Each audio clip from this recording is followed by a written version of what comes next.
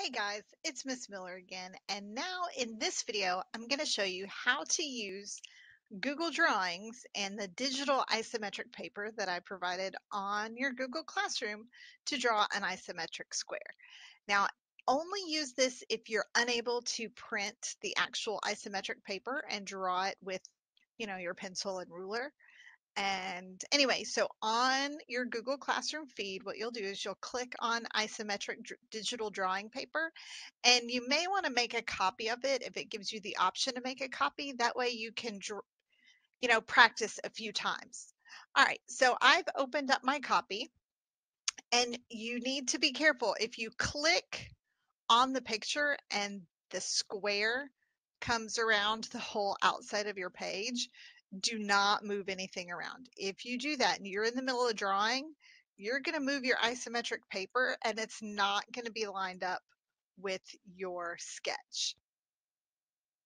So you want to make sure that if you click there and the whole thing turns blue, you just kind of click anywhere to the side. All right, so this is pretty simple to use. I've never used this um, Google drawings before. This is my first time to use it. So I'm going to show you what I've figured out and we're going to just go from there. All right, so just like the other paper, this is an exact picture that I just imported into Google Drawings that I'm going to draw on. This tool right here, this is the line tool, and that's going to be the main thing that you want to use to draw your cubes. All right, so I'm going to take if I can, and zoom in some so that I can see my squares a little bit better while I'm drawing. I'm going to zoom in. That's that's good enough. Ooh, that's a little mm, a little oh, that's way too much. okay, let's go back and not be zoomed in that much. Here we go. Okay. All right, so we'll zoom in this much. I'm going to click on the outside because that blue square was around the edge. And I'm going to start at the bottom of my paper, just like I did when I was drawing it by hand on the physical piece of paper.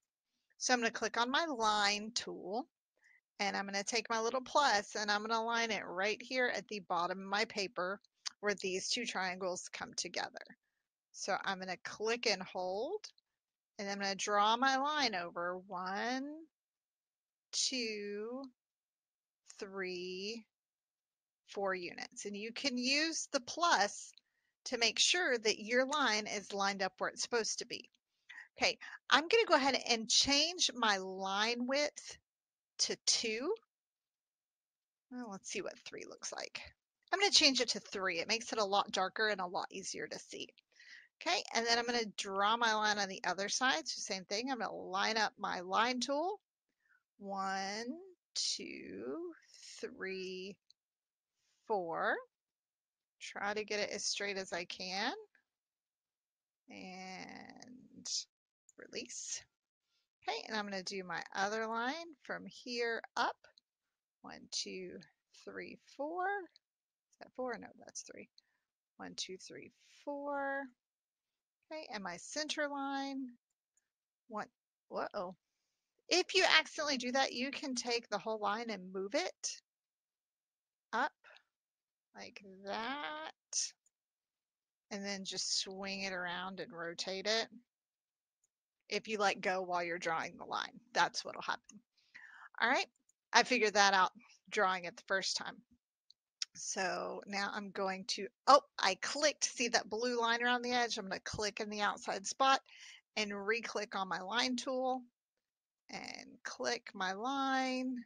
I did it again. And go up four, one, two, three, four. There we go. And now I'm going to click in, oops, let's keep that right there. Okay, and now going to do my line again, click and hold and drag over to there. All right, let's go ahead and change that because it's not three anymore. Let's click on this one. Oops, delete that. And click on my line again. Go from here to here. And let's change that to three as well. And then we're going to click here and go over one, two, three, four. It's a little crooked, so I can always take the end and move it right there. There we go. And then let's click right there and drag that across to there. And there we go. There's our cube. I've drawn it digitally. So if you don't have a printer, you can use this to draw your sketch. And there will be a turn in place for you to submit everything. But that is it. I'm going to go ahead and make this one darker because it wasn't dark enough. There we go. And I believe that is it. Let's see, we can click paint. I wonder how that works. I don't know. But you can play around with it. You can draw um, whatever you want to draw on here. But I do want you to practice drawing some cubes just like I directed in the other video.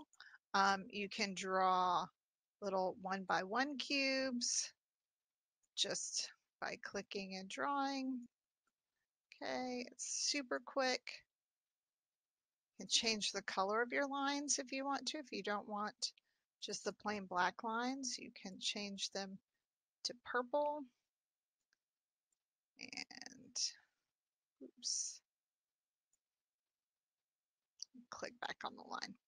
So if you're clicking and your little drawing cursor turns to a like the four arrows, then like that, that's for you to move that line wherever. And you can just hit delete and then click back on the line drawing button. All right, so that's it for the digital isometric sketches. I hope y'all practice and I'll check in with you guys next week. Thanks a lot, guys. Bye.